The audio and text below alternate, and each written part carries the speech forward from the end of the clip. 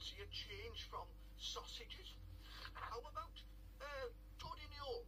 Thing is, Elvis, I'd like a real change.